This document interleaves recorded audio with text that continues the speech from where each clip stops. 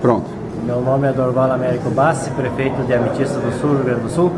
Meu sonho é verde, já que nós trabalhamos com a extração da pedra ametista, meu sonho é verde é ver todas as encostas onde sai o basalto se transformar num adubo para futuras gerações ter a, o oxigênio nesse adubo, esse adubo a, a, nascer árvores para dar o oxigênio à nossa população.